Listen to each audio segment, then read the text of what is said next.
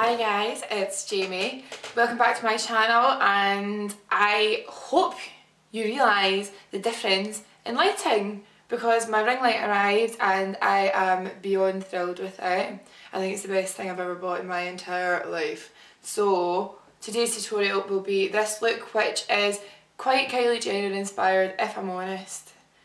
Same kind of smoky eye, same kind of lip because I wish I was that cool when I was 17, let's just say that.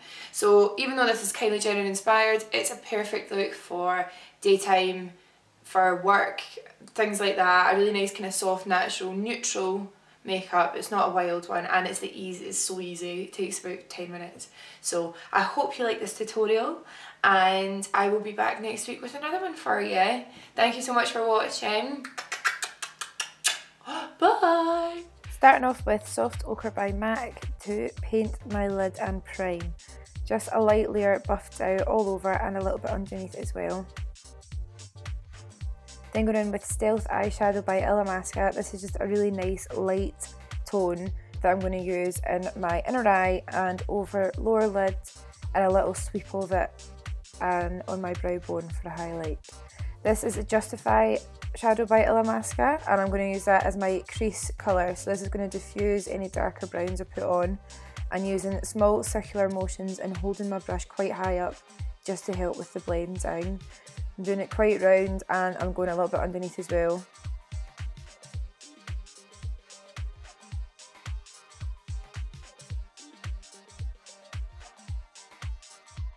This is Wolf eyeshadow by Illamasqua, which is a nice rich chocolatey brown going in my crease with that and buffing it in to Justify the diffusing colour.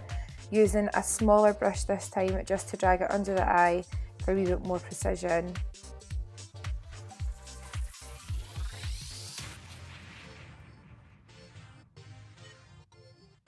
And then going back in with my fluffier brush that I used first just to make sure it's nice and softly blended out. I didn't show you it, but I'm going in with black eyeshadow, which is Illamasqua Obsidian, just to make it nice and dark. And then I go between the crease brush and the fluffier brush just to make sure it's nicely diffused. If you look at pictures of Kylie Jenner, her eyeshadow is always really, really soft. It's never, it's never too harsh. So just a little bit of black just to give it a bit of depth. Then going in with NYX Jumbo Pencil in Milk, I'm going to paint my waterline to get it nice and bright. This makes the eyes look bigger and it takes away any kind of tired looking. Just make sure you don't poke yourself in the eye like I did. Ow. This is Illamasqua Liquid Liner in Abyss, my new fave. And I'm just starting halfway along the eye. It's not going to go around the full lash line and flicking out just a little bit, not as big as my usual. It's still quite a soft look, but I wanted to give have a slight wing. Easiest way is to start in the middle, get your flick and just build up in between the flick and where you started. Making sure the product's nice and smooth and don't be don't be scared to check how you're getting on halfway through. Illamasqua mascara, my current fave, and I'm giving my lashes a good coat of that a good three coats or something because again if you look at oh a wee sip of coffee there. If you put loads on that's kind of Kylie Jenner style. I'm just popping a wee pair of wispies on really really nice thin lashes not too strong at all. You can't really tell you've got them on to be honest. And using a pair of tweezers just to make sure they're perfect. And once they're secure I give my own lashes and the fake lashes a wee roll together and another coat of mascara and that is the finished eye look. Going on to lips, I'm using Bare by Illamasqua. A really nice pinky nude, but it's still got a touch of brown in it, so it's not too pinky. And I'm just going straight from the bullet and applying that all over. Making sure I'm getting a good layer of it. This lipstick's matte as well, so it lasts ages.